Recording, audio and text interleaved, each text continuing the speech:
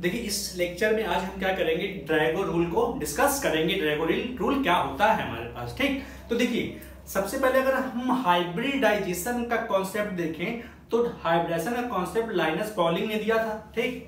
तो क्या है, जैसे हमारे पास सी एच फोर था, ठीक? और दूसरे और मोलिक्यूल थे जिसकी बॉन्डिंग एक्सप्लेन नहीं हो पा रही थी तो उसी को एक्सप्लेन करने के लिए उन्होंने क्या किया? हाइब्रिडेशन का कॉन्सेप्ट दिया। ठीक तो बॉन्डिंग को हमारे पास एक्सप्लेन करने के लिए हाइब्रिडेशन का कॉन्सेप्ट आया था। लेकिन क्या लाइनस पॉलिंग क्या करते थे? जैसे कोई मोलिक्यूल देखते थे और उस पर हाइब्रिडेशन निकाल देते थे, ठीक? तो क्या हुआ? हमारे पास एक साइंटिस्ट आया ड्रैगो ठीक? तो ड्रैगो ने बताया कि देखिए, ऐसा नहीं कि आपका जो हमारे पास हाइब्रिडेशन का कॉन्सेप्ट है, वो सही है।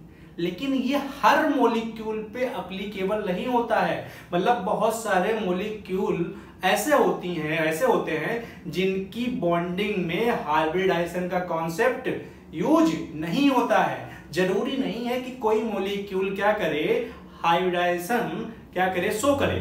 बहुत सारे मोलिक्यूल ऐसे भी हैं जो हाइब्रिडेशन शो नहीं करते हैं। वो क्या करते हैं, अपने प्योर एटॉमिक ऑर्बिटल्स को क्या करते हैं यूज़ करके बॉन्डिंग हमारे पास कर लेते हैं। ठीक? तो क्या है? इसीलिए क्या है? ड्रैगो ने क्या किया?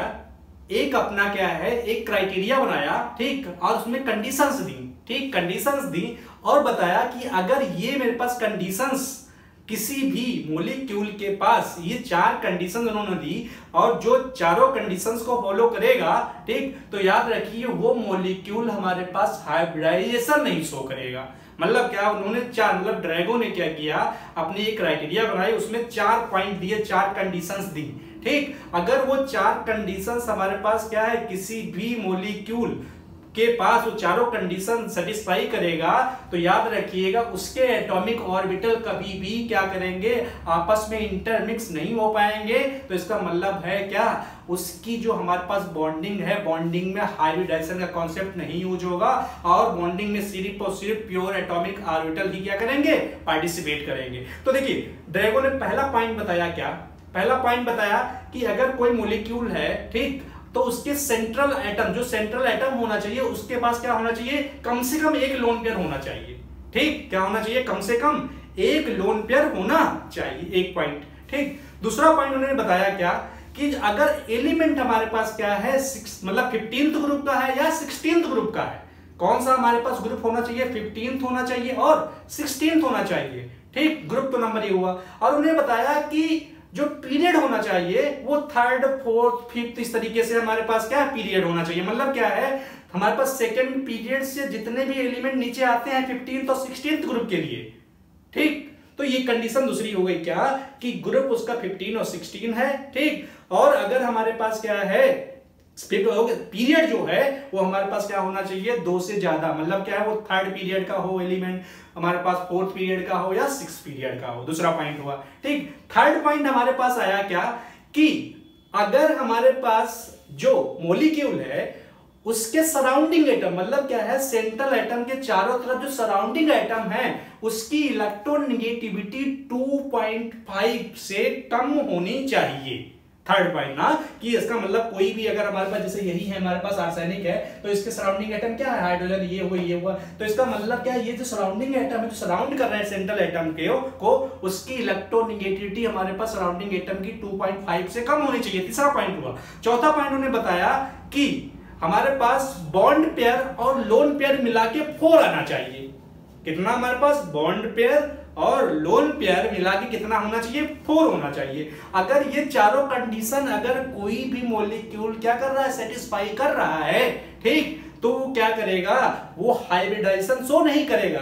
क्योंकि हमारे पास अगर ये चारों कंडीशन होंगे तो उनके एटॉमिक ऑर्बिटल्स के बीच में एनर्जी गैप बहुत ज़्यादा हो जाएगा। जब एनर्जी गैप अगर ज़्यादा हो जाएगा तो वो जो एटॉमिक ऑर्बिटल होंगे आपस में इंटरमिक्स नहीं हो पाएँगे। जैसे मैं क्या बताऊँ एग्जांपल में बताऊँ, देखिए, अगर मान लीजिए फिफ्थ क्लास का लड़का, अगर कोई है, उसको ट्वेल्थ क्लास के लड़के में बैठा हो तो इसका मतलब फिफ्थ और ट्वेल्थ में क्या है? उनकी हमारे पास एनर्जी गैप बहुत ज़्यादा फिफ्थ का लड़का होगा, उसका एनर्जी कुछ और है, और ट्वेल्थ वाले का एनर्जी कुछ और है तो मैं कहूँगा उनके बीच में कभी क्या है बॉन्डिंग होगी नहीं। सिंपल सी बात है अच्छे से, क्योंकि वहाँ एनर्जी गैप मतलब बूंदों ऑर्बिटल क्या है, आपस में घुली मिल नहीं पाएँगे तो इसका मतलब वहाँ बॉन्डिंग नहीं होगी। लेकिन अगर तुम इलेवन को ट्वेल्थ में पढ़ा दो, या ट्वेल्थ में इलेवन में बैठा दो तो इसका मतलब इलेवन ट्वेल्थ में ज़्यादा एनर्जी गैप नहीं होता है। तो यहाँ पे क्या हो सकता है, आपस में वो मिलजुल के रह सकते हैं, ठीक? तो इसका मतलब आसानी से क्या हो सकता है इंटरमिक्सिंग हो सकती है। तो इसका मतलब ये चारों देखिए कंडीशन मैंने लिख दी है फ़र्स्ट सेकंड थर्ड चारों कंडीशन हमने रखी है कि अगर ये चारों कंडीशन क्या हुई? सेटिस्फाई उसने किया। ठीक? तो वो एनर्जी गैप उसके एटॉमिक ऑर्बिटल में एनर्जी गैप ज़्यादा हो जाएगा एनर्जी गैप अगर ज़्यादा हो जाएगा तो वहाँ पे क्या है? ऑर्बिटल जो होंगे एटॉमिक ऑर्बिटल वो इंटरमिक्स नहीं कर पाएँगे। ठीक? तो हाइड्रोजन शो नहीं करेगा। तो इसका मतलब बॉन्डिंग में क्या करेंगे फिर? बॉन्डिंग में प्योर एटॉमिक ऑर्बिटल ही सीधे सीधे क्या है? बॉन्डिंग बना लेगा। मतलब क्या है? हमारे पास बॉन्डिंग जो है प्योर ऑर्बिटल एटॉमिक ऑर्बिटल क्या है? शो करने लगेगा। ठीक? ये हमारे पास क्या है? ड्रैगो रूल है। ठीक? अब देखिए क्या है कंडीशन ये तो कंडीशन सारी हो गई। अब हम एग्जांपल लेके देख लेते हैं, देखिए क्या। ठीक? एग्जांपल लेके देख लेते हैं। देखिए, क्या देखिए, मान लीजिए हमारे पास ये 15th ग्रुप है। देखिए 15th ग्रुप है। नाइट्रोजन फास्फोरस आर्सेनिक एंटीमनी ठीक? ये। अब देखिए सेम टू सेम अगर हमारे पास देखिए नाइट्रोजन है नाइट्रोजन फास्फोरस आर्सेनिक एंटीमनी मैंने इससे H2 की रिएक्शन करा दी, देखिए। H2 की जैसे मैंने ये रिएक्शन कराई तो देखिए क्या हुआ? इस वाले में क्या अमोनिया बन गया। अमोनिया ये PS3 बन गया। ये हमारे पास ASS3 बन गया। ठीक? और ये SBS3 बन गया। ठीक? देखिए, ठीक? तो क्या है देखिए ध्यान से कि ये वाला जो अमोनिया है, ध्यान दीजिए, ठीक? अमोनिया है, ठीक? तो अमोनिया में जब मैं हाइड्रेशन निकालता हूँ तो यहाँ पे मेरे पास sp3 हाइड्रेशन शो करता है ये।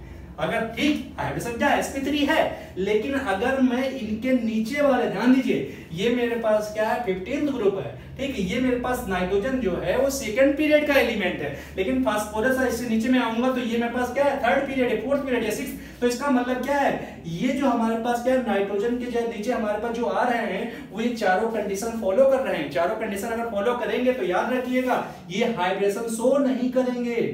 ध्यान दीजिए हाइड्रोजन शो नहीं करेंगे। तुमने कैसा हाइड्रोजन निकाला होगा? तीन यहाँ बॉन्ड है, और एक हमारे पास क्या? तीन बॉन्ड पेयर एक लोन पेयर तो फोर आ गया तो फोर के लिए sp3 आ गया। तो इसका मतलब क्या? अगर तुमसे आज के बाद कोई पूछे कि ps3 है ps3 पे हाइड्रोजन निकालो, या मेरे पास ess3 पे हाइड्रोजन निकालो तो क्या होगा? ये हाइब्रेशन शो नहीं करेंगे। क्यों?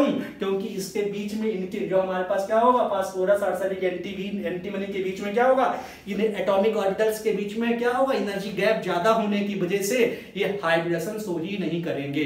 मतलब क्या, अगर तुमसे कोई sp3 कहेगी कि sp3 हाइड्रोजन क्या है तो sp3 नहीं होता। इसका मतलब यहाँ पे कोई हाइड्रोजन शो नहीं करता, ये वाले एलिमेंट तो हम इनको जान लो PS3 ASS3 और इसको, हम इनको ड्रैगो मॉलिक्यूल भी कह देते हैं। क्या है हमारे पास? इनको ड्रैगो मॉलिक्यूल्स भी कहते हैं, क्योंकि ये हाइड्रोजन शो नहीं करते हैं। ठीक? है कंपटीशन में क्वेश्चन पूछा जा सकता है, ठीक? कि हमारे पास ऐसा कौन मॉलिक्यूल है जो हाइड्रोजन नहीं शो करता? तो ये हमारे पास गया। अब देखिए ध्यान से, अब देखिए अगर मेरे पास, देखिए, अगर मेरे पास कोई एक हमारे पास एटम है, उसके चार तरफ़ हमारे पास चार बॉन्ड है, इसके पास कोई लोन पेयर नहीं होता है तो मैं कह देता हूँ कि इसमें हाइड्रोजन sp3 आ जाता है और यहाँ पे बॉन्ड एंगल कितना आता है? बॉन्ड एंगल मेरे पास कितना आ जाएगा? 109 डिग्री 28 मिनट। ये तो लिखते हो, ठीक? तो ध्यान दीजिए तो इसका मतलब अगर चार बॉन्ड होते और लोन पेयर कोई ना होता तो बॉन्ड एंगल 109 डिग्री 28 मिनट, ठीक? अब देखिए, अगर एक लोन पेयर हमारे पास मतलब तीन बॉन्ड हो और एक लोन पेयर आ जाए तो याद रखिए, एक लोन पेयर क्या करता है? दो डिग्री बॉन्ड एंगल कम कर देता है। तो दो डिग्री इसका मतलब देखिए अमोनिया के केस में क्या तीन बॉन्ड एक लोन पेयर आ गया। तो देखिए, इसका मतलब यहाँ पे थीटा की वैल्यू क्या है ये थीटा की वैल्यू आएगी क्या यहाँ पे? 109 डिग्री में से क्या कर दो? दो डिग्री माइनस कर दो तो अप्रोक्स कितनी आ जाएगी? मैं कहूँगा एक डिग्री आ जाएगा। तो इसका मतलब क्या है? अमोनिया के केस में अगर मैं देखूँ बॉन्ड एंगल ना तो कितना आ रहा है मेरे पास? एक सौ सात डिग्री आ रहा है। वन डिग्री आ रहा है, ठीक? 160 डिग्री आ रहा है, ठीक? अब सेम टू सेम देखिए, अगर ये हाइड्रेशन शो करता, ध्यान दीजिए, अगर PS3 हाइड्रेशन शो करता तो इसके बीच में भी एंगल क्या आना चाहिए था? 107 या 107 के आसपास आना चाहिए था। लेकिन एक्चुअली में क्या हुआ, जब यहाँ पे बॉन्ड एंगल देखा गया, ना तो ये बॉन्ड एंगल जानो कितना आया? 94 डिग्री। बात सोचो कि यहाँ पे कितना 107 के पास आना चाहिए 107 के पास आना चाहिए, लेकिन आ कितना रहा है? हमारे पास 94 डिग्री तो इसका मतलब ये है कि ये मोलिक्यूल क्या है? हमारे पास, ध्यान दीजिएगा, इसकी और इसकी हमारे पास क्या है? ध्यान दीजिए, ये ये जो हमारे पास क्या है, इसकी और इसकी जियोमेट्री अगर हम कहते हैं मतलब क्या इसका स्ट्रक्चर देखें तो सेम नहीं आएगा मतलब। बात समझिएगा? सेम नहीं आएगा, क्योंकि इसका बॉन्ड एंगल 94 आ गया। अब ध्यान दीजिए, अगर मैं आर्सेनिक के केस में देखूँ आर्सेनिक के केस में जब मैंने देखा तो यहाँ पे बॉन्ड एंगल मेरे पास 93 आया, यहाँ पे देखा तो मेरे पास क्या है 90 हमारे पास क्या है 2 डिग्री आया। 92 डिग्री आया, ठीक? तो देखो इसका मतलब ये है कि पहली बात क्या है अमोनिया तो हमारे पास हाइड्रोजन शो करता है, लेकिन ये वाले मोलिक्यूल हाइड्रोजन नहीं शो करते, पहली बात।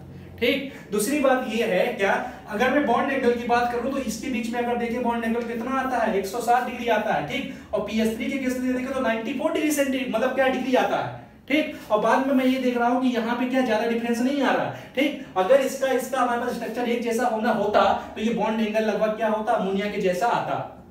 ये तो है अमोनिया के जैसा आता। ठीक पॉइंट समझ में आ रहा होगा क्या? बॉन्ड एंगल का केस इसमें कितना है? 109 ना? इसका सॉरी क्या 107 डिग्री तो अब ये तो इसका 94 डिग्री क्यों? मतलब इतना क्यों डिक्रीज कर गया? ऐसा क्या हुआ कि बॉन्ड एंगल इतना हमारे पास कम कैसे हो गया? ठीक तो अभी हम इसके बारे में डिस्कस करेंगे सेम टू सेम अब देखिए सेम टू सेम हम ऐसे 16 ग्रुप के बाद देख लेते देखिए 16 ग्रुप में ये 16 ग्रुप में हमारे पास कौन से एलिमेंट आते हैं? ऑक्सीजन सल्फ़र एसिटी और पीओ तो देखिए हम अगर H2 से एडिशन करवाएँ देखिए तो ये H2O बन जाएगा H2S बन जाएगा H2SE बन जाएगा सेम टू सेम वही कंडीशन से देखिए क्या। पहली कंडीशन इसमें क्या है, देखिए। पहली कंडीशन इसमें, देखिए, दो लोन पेयर है और दो बॉन्ड पेयर है। तो फोर हो गए तो फोर हो गए तो हाइड्रोजन क्या हो गया? Sp3 आ गया। Sp3 आ गया। ठीक, अब देखिए, इसका बॉन्ड एंगल निकालो। अब देखो, यहाँ पे देखिए, दो बॉन्ड है और दो हमारे पास लोन पेयर है। तो कितने हो गए? फोर ये तो हुए। अब मैंने कहा कि अगर एक लोन पेयर होता है तो बॉन्ड एंगल कितना मेरे पास कम कर देता है? दो डिग्री तो यहाँ पे कितना अगर मैं देखूँ तो यहाँ यहाँ पे दो है तो ये चार डिग्री कम कर देगा तो मैं ये कहूँगा, यहाँ पे जो बॉन्ड एंगल आता है, लगभग कितना? एक सौ हमारे पास क्या है? One zero four point five degree आ जाता है, इतना आ जाता है। ठीक? अब सेम टू सेम अगर मैं यहाँ पे जाऊँ, ध्यान दीजिए ध्यान दीजिए, यहाँ पे हाइड्रेशन अगर शो कर रहा है तो हाइड्रेशन अगर वो शो कर रहा है तो हमारे पास बॉन्ड एंगल 104.5 डिग्री है। ये तो है। लेकिन अगर मैं H2S के पास जैसे पहुँचता हूँ और यहाँ बॉन्ड एंगल देखने का देखो तो ये लगभग 92 डिग्री आता है, इसका मेरे पास 90 91 डिग्री आता है, और इसका मेरे पास क्या है? 90.5 डिग्री आता है। अब देखो, ध्यान से, इसके केस में मेरे पास बॉन्ड एंगल कितना 104 डिग्री है ये तो है। और यहाँ पे अचानक से कम कितना हो गया? अचानक से मेरे पास कम हो गया कितना? 90 पॉइंट समझिएगा। अभी हम इसको आगे एक्सप्लेन करेंगे, क्यों ऐसा हुआ? ठीक? तो पहला पॉइंट याद रखिएगा, ये हाइड्रेशन शो करता है, ये हाइड्रेशन शो नहीं करते। जैसे अगर हमसे कोई पूछे H2S पे हाइड्रेशन क्या होगा? तो अब एस पी थ्री ना बता देना, ठीक? तो इसका मतलब इन पे हाइड्रेशन नहीं होता ड्रैगो रूल के अकॉर्डिंग ना? तो ड्रैगो रूल के अकॉर्डिंग जो H2S H2SE और ये हैं, ये सारे के सारे हमारे पास क्या है? ड्रैगो मोलिक्यूल्स हैं। ड्रैगो मोलिक्यूल्स हैं ठीक अब हम ये देख लेते हैं कि अगर हमारे पास क्या है, ये बॉन्ड एंगल क्या 92 डिग्री आया है, ये 91 डिग्री आया है, और यहाँ पे ज़्यादा क्यों आ रहा है, यहाँ पे कम क्यों आ रहा है? तो इसको हम एक्सप्लेन कर लेते हैं, देखिए क्या है। देखिए एक्सप्लेन क्या कर लेते हैं, देखिए। अब देखिए, मैं इसको इस वाले के, इसके बारे में एक्सप्लेन कर दे रहा हूँ सेम टू सेम वही नीचे वाले के लिए एक्सप्लेनेशन होगा। देखिए, अब बताइए, अब मैं अमोनिया के बारे में पहले बात कर लेता हूँ। देखिए अमोनिया के बारे में। तो देखिए, हुआ क्या? ध्यान दीजिए, अमोनिया के केस में क्या हुआ? देखिए, अगर मैं इसको एक्सप्लेन करना चाहूँ तो देखिए नाइट्रोजन यहाँ पे एटॉमिक नंबर सेवन होता है तो one S two two S two और टू पी थ्री ये हो गया। अब बताइए, यही तो मेरे पास क्या है? बैलेंस सेल है। ये तो है। तो ध्यान दीजिए, इसका मतलब मेरे पास क्या है? टू एस है, ठीक? और ये मेरे पास क्या पी में मेरे पास तीन होते हैं तो एक इसमें इलेक्ट्रॉन एक इसमें इलेक्ट्रॉन है, ठीक? और ये मेरे पास दो इसमें है तो इसका ये टू एस है और ये टू पी है। तो हुआ टू एस और टू पी हुआ, ठीक? टू एस और टू पी हुआ। ठीक, अब देखिए क्या है? टू एस और टू पी की एनर्जी लगभग क्या है? बराबर है। लगभग क्या है? मैं कह दूँ लगभग एनर्जी सेम है, लगभग सेम है। तो इसका मतलब सेम होने की वजह से क्या करते हैं? तीन पी ऑर्बिटल और एक एस ऑर्बिटल क्या करता है? हमारे पास आपस में इंटरमिक्स होके चार नए हमारे पास हाइब्रिडाइज ऑर्बिटल बनाते हैं। तो क्या होगा? एक एस हमारे पास कितने पी है? तीन है। तो यहाँ पे sp3 आ गया, ये sp3 हो गया, ये sp3 हो गया ये sp3 हो गया। ठीक, ये sp3 हुआ, ठीक। अब देखो, अगर हमारे पास हमारे पास इसका मतलब चार एटॉमिक ऑर्बिटल जब इंटरमिक्स हुए तो चार हमारे पास हाइब्रिडाइज्ड बने। तो इसका मतलब इसमें दो इलेक्ट्रॉन थे, एक ठीक, इसमें, इनमें हमारे पास एक। तो मैंने क्या कह दिया? इसका मतलब नाइट्रोजन है नाइट्रोजन के पास, मेरे पास क्या है? चार हाइब्रिडाइज्ड ऑर्बिटल इस तरीके से है। ठीक? और एक में हमारे पास देखिए तो इसका मतलब ये भी sp3 है। चार हैं इसके पास हाइब्रिडाइज्ड sp3 sp3 ये sp3 और इसमें देखिए, दो इलेक्ट्रॉन है, इसमें एक इलेक्ट्रॉन इसमें एक इलेक्ट्रॉन एक इसमें इलेक्ट्रॉन है।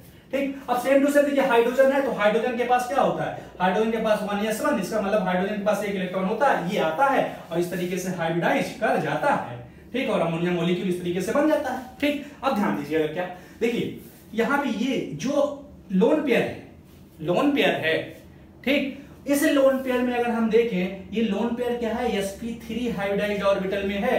तो अगर मैं इस ऑर्बिटल के पास देखूँ तो यस करेक्टर कितना है? देखिए sp3 में कितना? 25 परसेंट ये है। और p कितना है? मेरे पास क्या है? 75 परसेंट यही तो हुआ। ना? तो मैं क्या कहूँगा?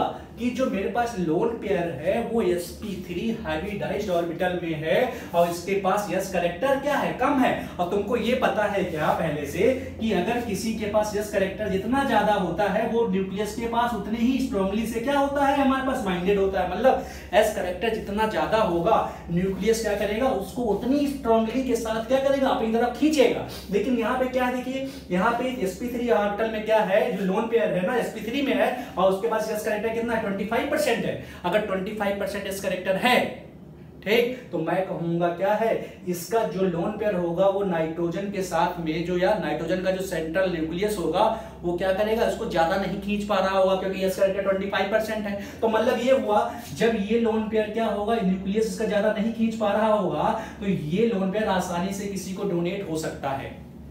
डोनेट हो सकता है, इसीलिए क्या होता है? अमोनिया क्या होता है? अमोनिया का लोन पेयर आसानी से डोनेट कर देता है। तो इसका मतलब क्या? ये एसिड बेस रिएक्शन बहुत आसानी से दे देता है।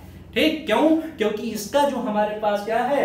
Lone pair sp3 hybridised orbital में है। यस करेक्टर इसका 25 परसेंट है।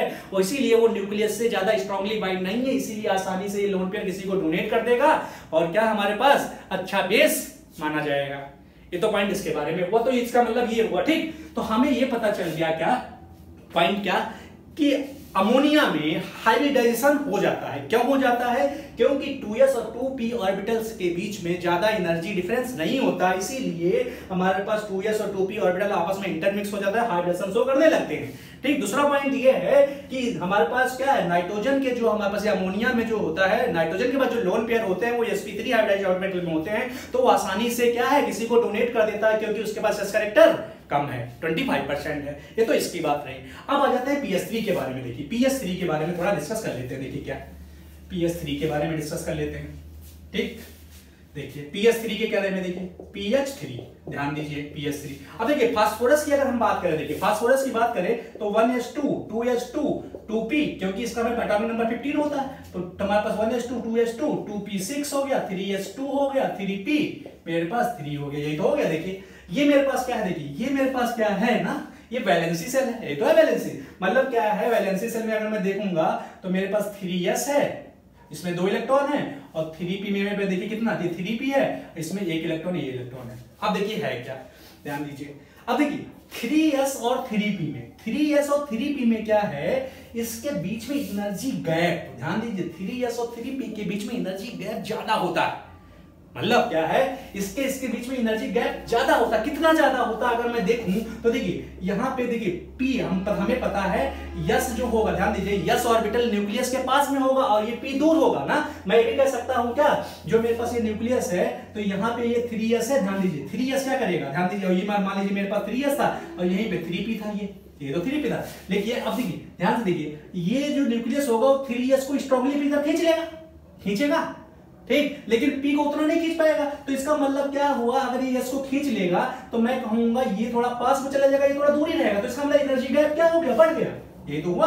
थ्री एस क्या हो गया? जब इसके पास में चला जाएगा, यहाँ से यहाँ आ गया ऐसे, ठीक? और ये थोड़ा यहाँ ऐसे आया। तो मैं क्या कहूँगा कि थ्री एस स्ट्रॉन्गली न्यूक्लियस के साथ बाइंड कर जाएगा। मतलब क्या? बाइंड कर जाएगा ना? स्ट्रॉन्गली कर लेगा तो इसके बीच में एनर्जी गैप का ज़्यादा हो जाएगा। थ्री एस और थ्री पी के एनर्जी गैप क्या हो गया? ज़्यादा हो गया। जब एनर्जी गैप ज़्यादा हो जाएगा तो मैं क्या कहूँगा?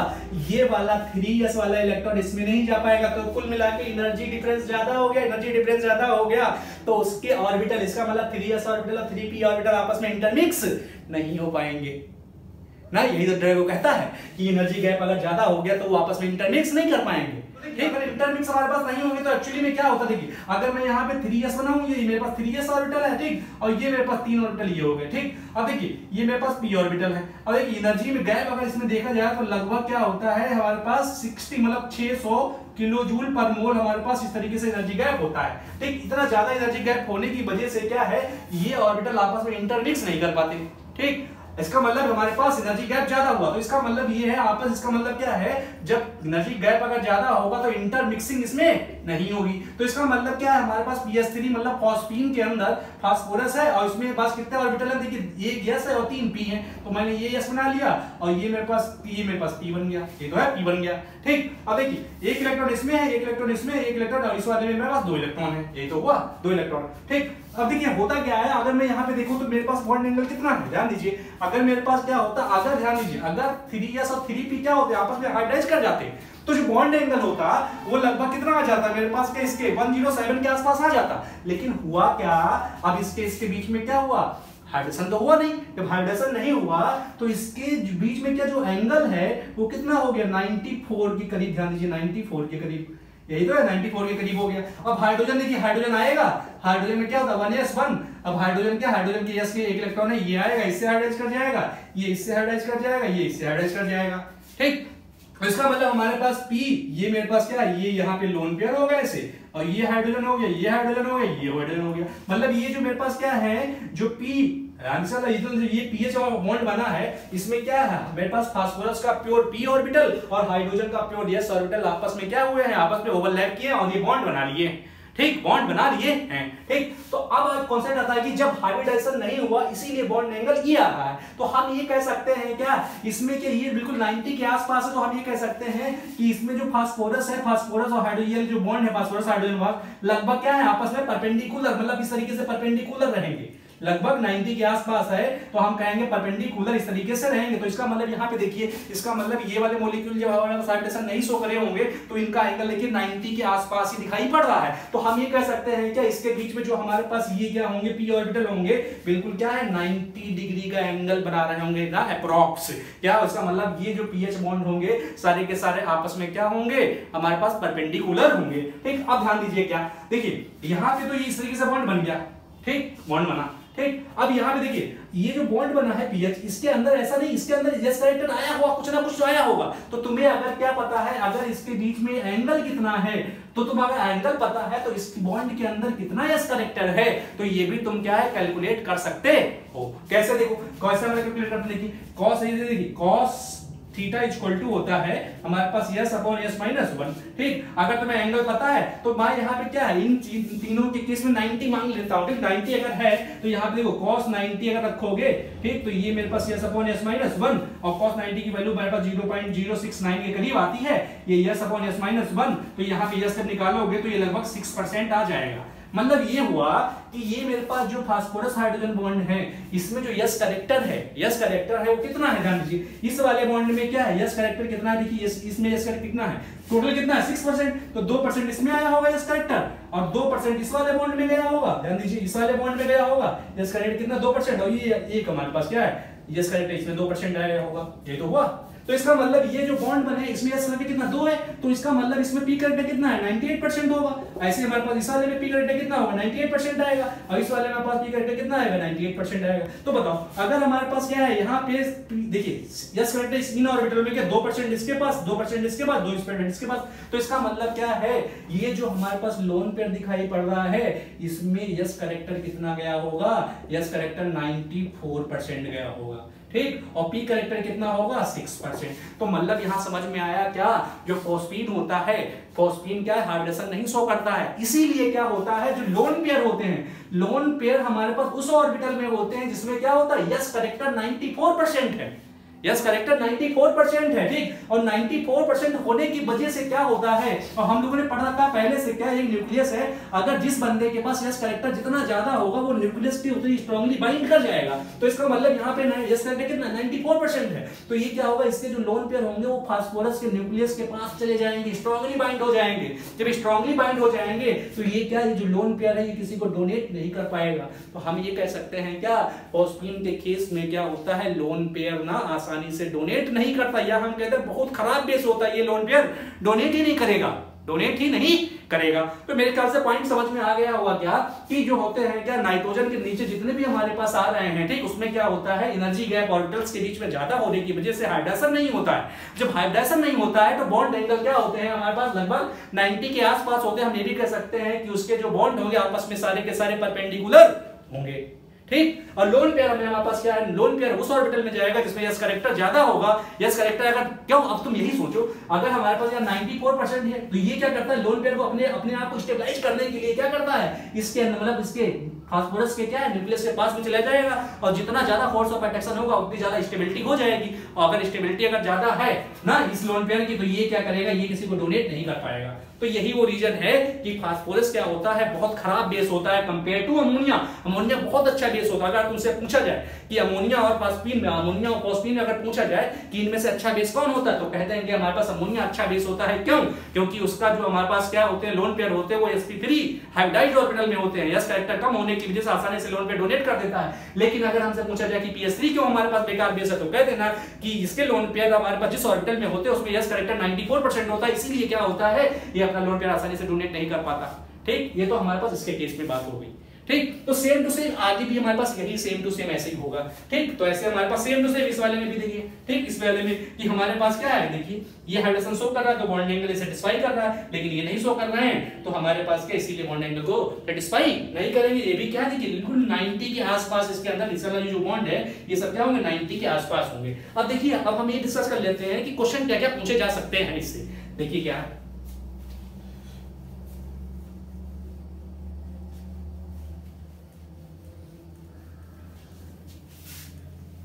देखिए, अब देखिए, मैं सेम टू सेम देखो, पहला अगर मेरे पास क्या जैसे NH3 है PS3 है ASS3 है एस ठीक SBS3 है, ये, ठीक, अब मैं नीचे वाला लिख रहा हूँ, देखो H2O है H2S है, ठीक H2SE है और H2TE है, ठीक, ये, देखिए, अब देखिए, ध्यान से, पहली बात हाइड्रेशन की बात आ गई हाइब्रिडाइजेशन की। हाइब्रिडाइजेशन की, ठीक? हाइड्रेशन तो हमें ये पता है हाइड्रेशन हमें पता है कि सिर्फ़ और सिर्फ़ अमोनिया शो करेगा और ये नहीं शो करेंगे, तुमको रीजन पता है, अमोनिया इसलिए शो करता है। क्यों अमोनिया शो करता है? क्योंकि इसकी जो है इंटरमिक्सिंग हो जाती है, क्योंकि एनर्जी गैप जो है ऑर्बिटल्स के बीच में कम होता है। इनमें क्या एनर्जी गैप ज़्यादा होने की वजह से ये हमारे पास हाइड्रेशन शो नहीं करता, लेकिन ये शो कर देता है। पहला पॉइंट ये क्वेश्चन पूछा जाता है। दूसरा देखो क्या। दूसरा ये है कि इनमें हमारे पास अमोनिया और पीएस में, अमोनिया और पीएस बेसिक करेक्टर किसका ज़्यादा होता है? तो हम क्या कह देंगे, इसका ज़्यादा होता है अमोनिया का ज़्यादा होता है लेकिन तुमको पता है, ठीक? अगला देखो, अगला अगर हमारे पास देखो थर्ड बॉन्ड एंगल की बात करें बॉन्ड एंगल हमारे पास देखा जाए तो अमोनिया के केस में क्या होता है बॉन्ड एंगल हमारे पास क्या होता है? अमोनिया के केस में सबसे ज़्यादा बॉन्ड एंगल होता है क्या? हमारे पास मैं इसमें बॉन्ड एंगल की बात करता हूँ, देखो कितना आया यहाँ पे। बॉन्ड एंगल की यहाँ पे एक डिग्री आया, ठीक? और यहाँ पे 94 यहाँ पे कम होता चला जा रहा है, क्योंकि हाइड्रेशन हमारे पास सो नहीं हो रहा। अब ये क्वेश्चन आया कि यहाँ पे बॉन्ड एंगल कम क्यों हो रहा है? ठीक? तो यहाँ पे कॉन्सेप्ट लगा सकते हो क्या? देखो, अगर मैं यहाँ पे देखो अगर मैं यहाँ से बात करूँ, देखो नाइट्रोजन इसमें, देखो ध्यान से। यहाँ पे नाइट्रोजन की सेंट्रल आइटम जो है, इसकी इलेक्ट्रोनेगेटिविटी ध्यान दीजिए। इसकी इलेक्ट्रोनेगेटिव नाइट्रोजन और फास्फोरस में दो पे कंपेयर कर रहा हूँ, देखो। नाइट्रोजन और फास्फोरस में इलेक्ट्रोनेगेटिव किसकी ज़्यादा है? नाइट्रोजन और फास्फोरस में इलेक्ट्रोनेगेटिव मेरे पास किसकी ज़्यादा है? मैं यहाँ पे बता दे रहा हूँ, देखो ये। ये हुआ ये हुआ ये हुआ। अब मुझे क्या है, ये बॉन्ड एंगल क्या है डिस्कस करना है, ठीक? और मान लो हमारे पास तुमको ये वैल्यू नहीं याद है तो कैसे करोगे? देखो, कैसे, देखो। देखो नाइट्रोजन की हमारे पास देखो इलेक्ट्रोनेगेटिविटी ज़्यादा है जब नाइट्रोजन की इलेक्ट्रोनेगेटिव ज़्यादा है फास्फोरस की कम है तो नाइट्रोजन क्या करेगा? जब इलेक्ट्रोनेगेटिव ज़्यादा है तो ये वाले ध्यान देना। ये जो क्या करेगा? नाइट्रोजन अपनी तरफ़ इलेक्ट्रॉन ऐसे पे खींच लेगा। जैसे इलेक्ट्रॉन खींचेगा इलेक्ट्रॉन इस तरीके से खींचेगा तो मैं कहूँगा कि इसके जो नाइट्रोजन का जो ये वाले बॉन्ड पेयर है, वो पास पास में ऐसे आ जाएँगे। ऐसे यहाँ से भी खींच रहा होगा तो जो पास पास में आ जाएँगे तो जब पास पास में मतलब नाइट्रोजन ये इलेक्ट्रॉन खींच रहा होगा तो ये बॉन्डिंग इलेक्ट्रॉन पास पास में आ जाएँगे पास पास में आएँगे तो ये रिपल्सन होने लगा। और रिपल्सन होने से क्या होगा? बॉन्ड एंगल बढ़ जाएगा। लेकिन फास्फोरस के केस में देखो क्या है? फास्फोरस हमारे पास इलेक्ट्रॉन खींच तो रहा होगा। लेकिन क्या है फास्फोरस के केस में इलेक्ट्रॉन ज़्यादा पास पास में नहीं पहुँच पा रहे होंगे, क्योंकि इसकी ताकत या इलेक्ट्रॉनिक कम है। जब पास पहुँच नहीं पा रहे होंगे तो मैं कहूँगा इसमें रिपल्सन क्या होगा? थोड़ा कम होगा। क्यों? समझ लो बात क्या? कि जब इसमें मेरे पास इलेक्ट्रॉनिक ज़्यादा थी इलेक्ट्रॉन पास पास से पहुँच गए थे पास पास ऐसे पहुँच गए थे, फिर पास पास से पहुँच जाएँगे तो रिपल्सन अचानक से होने लगेगा, और क्या होगा? ये बॉन्ड दूर दूर चले जाएँगे। ऐसे से मतलब इस वाले फास्फोरस में केस में आएगा ना, कि फास्फोरस में इलेक्ट्रॉनिक क्या है? कम होती चली जा रही है तो ये खींच नहीं पाएगा तो रिपल्सन ज़्यादा इसमें इसमें रिपल्सन ज़्यादा नहीं हो पाएगा। ऐसे मेरे पास क्या? आर्सेनिक में नाइट्रोजन फास्फोरस आर्सेनिक के केस में देखते हैं। ठीक आर्सेनिक के केस में ऐसे। देखो आर्सेनिक के केस में क्या है? हमारे पास सिंपल सी बात है, मैं आर्सेनिक के केस में क्या कहूँगा? कि इसकी इलेक्ट्रॉनिटी और कम हो गई होगी तो ये और इलेक्ट्रॉन नहीं खींच पाएगा। इलेक्ट्रॉन नहीं खींच पाएगा तो इसमें से रिपल्सन क्या है? ज़्यादा हो नहीं पाएगा। तो सिंपल सिंपल यहाँ पे एक बात कह सकते हो कि जो बॉन्ड एंगल होता है बॉन्ड एंगल होता है, वो डायरेक्टली प्रोपोर्शनल किसके होता है? हमारे पास इलेक्ट्रोनेगेटिविटी ऑफ़ सेंट्रल एलिमेंट की सेंट्रल एलिमेंट के, ठीक? सेंट्रल एलिमेंट जितना ज़्यादा इलेक्ट्रोनेगेटिव होगा, उसका क्या होगा? बॉन्ड एंगल उतना ही ज़्यादा होगा। तो मैं भी एक लेक्चर पूरा बॉन्ड एंगल पे ही बनाऊँगा। ठीक? तो जितने भी हमारे पास का इनऑर्गेनिक में जितने भी मॉलिक्यूल हैं, ठीक? उसका हम एक ही लेक्चर में सारे के सारे बॉन्ड एंगल निकाल के देख लेंगे, ठीक? तो यहाँ पे ये चीज़ हो गई कि हमारे पास ऐसा होगा, ठीक? ये चीज़ें होगी। अब देखो सेम टू सेम किसमें हमारे पास, इस वाले में देखो, इस वाले में हमारे पास। तो सेल्स जो मैंने ये क्वेश्चन बताया, वही सेम टू सेम है कि भैया ये हाइड्रोजन शो करेगा ये सारे के सारे नहीं करेंगे, ठीक? दूसरा क्या है? बेसिक करेक्टर की अगर हम बात करें तो अच्छा बेस है ये, ठीक? ये अच्छा बेस क्यों है? क्योंकि इस पे हाइड्रोजन क्या होगा? इसके जो लोन पेयर होंगे ना ये जो लोन पेयर दिखाई पड़ रहे हैं, वो क्या होंगे? हमारे पास जो लोन पेयर होंगे, वो sp3 ऑर्बिटल में होंगे और इनमें हाइड्रोजन शो नहीं कर रहे होंगे तो प्योर एस वाले में होंगे तो क्या होगा? ये आसानी से इलेक्ट्रॉन डोनेट नहीं कर पाएगा। Same to same bond angle की बात कि जैसे जैसे सेंट्रल एटम की इलेक्ट्रोनिगेटिविटी क्या है, देखो, कम होती जा रही है तो कम होती जा रही होगी तो रिपल्सन कम हो जाएगा। रिपल्सन कम होगा तो बॉन्ड एंगल कम हो जाएगा। बात समझ में आ गई होगी, ठीक? अब देखो, अगर तुमको अब क्वेश्चन ये दूसरा और देखिए और पूछा पूछा जा सकता देखिए क्या? कि देखिए, अब मान लो अमोनिया हमारे पास है तो अमोनिया पता है कि हमारे पास बहुत अच्छा बेस है तो कैसे प्रूव करोगे? अब बताओ, अगर तुम्हें अच्छा बेस अगर है तो तुम एसिड से रिएक्शन करा दो एससीएल से रिएक्शन कराओ। जैसे एससीएल से रिएक्शन कराओगे, अगर इसका मतलब कि अच्छा बेस होगा तो ये H+ को क्या करेगा? इलेक्ट्रॉन डोनेट कर देगा, और यहाँ पे NH4Cl बना लेगा। NH4Cl बना लेगा, ठीक, ये वो रिएक्शन हो जाएगी। लेकिन अगर तुम PS3 की बात करो PS3 हमें पता है कि यहाँ पे क्या है स्ट्रांगली बाइंड नहीं है इलेक्ट्रॉन मतलब क्या है यहाँ पे जो ये वाले लोन पेयर इसके हैं ठीक? वो स्ट्रांगली बाइंड है, ठीक? क्योंकि इसके जो हमारे पास प्योर एस ऑर्बिटल में है, ठीक? तो हम यहाँ पे जब एससीएल की रिएक्शन ऐसे कराएँगे तो ये नहीं करेगा। क्यों? क्योंकि हमारे पास ये अच्छा बेस नहीं है, क्योंकि इसके जो है ना लोन पेयर होते हैं, वो प्योर एस ऑर्बिटल में होते हैं है भी कह सकते हैं, ठीक? लेकिन अगर देखो, यहाँ क्वेश्चन हमारे पास ना, ये कंपटीशन में पूछा जा सकता है क्या? अगर तुमने एससीएल कंसंट्रेट लिया मतलब बहुत ज़्यादा उसका कंसंट्रेट कर दिया अमाउंट ज़्यादा कर दिया तो ये रिएक्शन हो जाएगी ना पीएच फोर सीएल बन जाएगा। ये तो हुआ पीएच फोर से तो ये ऐसे प्रूफ हम कर सकते हैं। तो देखो, एक चीज़ और है हमारे पास, ये तो इस तरीके से। अगला देखो क्या। अगला हमारे पास क्या है? जैसे अगर हम अमोनिया की रिएक्शन पानी से कराना चाहें, अमोनिया की रिएक्शन पानी से कराना चाहें, ठीक? तो हम कहेंगे अमोनिया की यहाँ पे देखिए आपस में रिएक्शन कर लेगा। और क्या करेगा? हमारे पास क्या, ये अपने इस तरीके से लोन बेस को डोनेट कर देगा। तो मैं कह दूँगा, यहाँ पे NH4OH बन जाएगा। लेकिन अगर तुम यही पीएच के केस में करवाओ तो ये रिएक्शन नहीं हो पाए। ठीक? ठीक, क्योंकि हमारे पास क्या है? इसके लोन पे स्ट्रॉन्गली हमारे पास न्यूक्लियस से अटैच होंगे और ये लोन पे डोनेट नहीं कर पाएगा तो इसीलिए रिएक्शन प्रोसीड नहीं होगी। ठीक तो ये है हमारे पास ड्रैगो रूल था कि हमारे पास ड्रैगो रूल से रिलेटेड ये चीज़ें थी। तो इस लेक्चर के लिए आज इतना ही।